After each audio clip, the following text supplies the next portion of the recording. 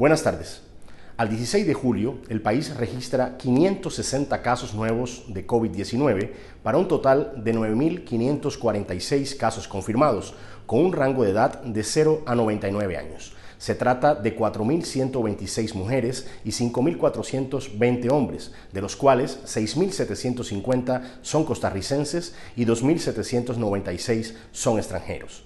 Se contabilizan casos positivos en 81 cantones. Por edad tenemos 7.766 adultos, 483 adultos mayores y 1.200 menores de edad. Aún se encuentran 97 pacientes en investigación.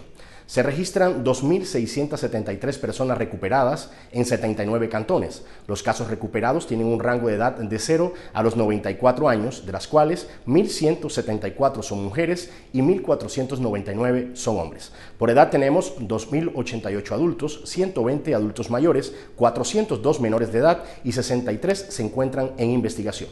207 personas se encuentran hospitalizadas, 35 de ellas en cuidados intensivos, con un rango de edad de los 0 a los 78 años. Se registran 42 lamentables fallecimientos, 17 mujeres y 25 hombres, con un rango de edad de 26 a 94 años. Los decesos más recientes se registran en la tarde de ayer. El primero de ellos se trata de una mujer de 77 años, costarricense, vecina de Punta Arenas. La mujer se encontraba internada en el Hospital San Juan de Dios, siendo diagnosticada con COVID-19 el pasado 15 de julio, mismo día que falleció. Padecía de cáncer de piel, mieloma múltiple y arritmia cardíaca. El segundo fallecimiento se registra en el Hospital Calderón Guardia y se está en proceso de notificación a la familia.